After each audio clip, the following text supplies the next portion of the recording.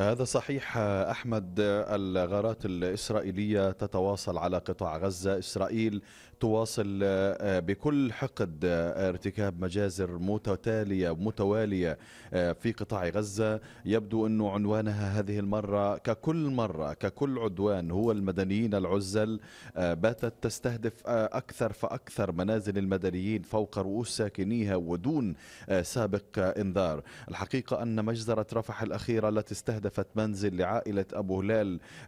يعني لا تزال أصداءها تتردد حتى هذه اللحظة وطبعا تواصل أطقم الدفاع المدني وكذلك أجهزة وزارة الداخلية العمل على انتشال المزيد من الشهداء. حتى هذه اللحظة بحسب مصادر محلية يجري الحديث عن انتشال 18 شهيدا في المنزل المستهدف في مخيم في مخيم بشيت إلى طبعا الغرب من مدينة إلى الغرب من مدينة رفح وهو أحد مخيمات اللاجئين الفلسطينيين المكتظة بالسكان. لعل حجم الكثافة النارية التي تستخدمه إسرائيل في مناطق كهذه أحمد وأنت تعلم أن هذه المخيمات شديدة الاكتظاظ. وثانيا البناء فيها بناء قديم ومهترئ منذ طبعا بعض الأبنية موجودة منذ سنوات سنوات النكبة باستثناء بعض التحسينات التي طرأت على هذه المخيمات. بالتالي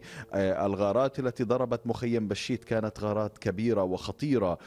طبعا في جراء هذا الاستهداف خمسة منازل إلى جانب منزل عائلة أبو هلال تضررت بشكل كبير.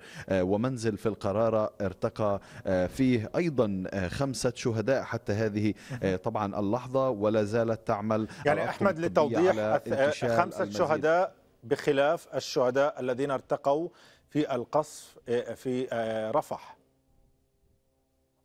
هذا صحيح أحمد. خمسة شهداء في استهداف منزل في طبعا القرارة. كان الحديث يدور عن ثلاثة شهداء لكن مع انتشال المزيد أضحى الرقم أكبر. خمسة شهداء حتى هذه اللحظة فقط في منزل القرارة. بالإضافة إلى ما يزيد عن 18 شهيدا في قصف في قصف طبعا مدينة مدينة رفح وتحديدا مخيم بشيت.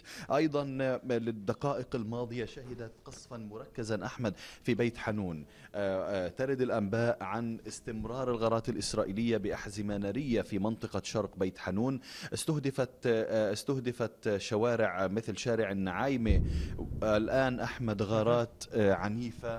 الآن تتجدد الغارات العنيفة شمال قطاع شمال قطاع غزة. الحقيقة أن إسرائيل منذ عصر هذا اليوم أو حتى قبل عصر هذا اليوم استهدفت الشريط الحدودي المطل على موقع إيرز شمال قطاع غزة. طبعا والذي تمكنت المقاومة الفلسطينية وعناصر من كتائب القسام من دخول هذا الموقع وتطهيره ونشر هذه الصور عبر عبر الإعلام العسكري. إسرائيل قصفت بشكل مكثف ومركز بحزام ناري كبير بعد أو قبل عصر هذا يعني يوم أمس. ولا تزال منذ ذلك الوقت تغير على هذا المكان. نفس المكان أحمد يقصف بكثافة نارية كبيرة دمرت شوارع رئيسية مثل شارع شارع النعايمه وكذلك شارع البنات.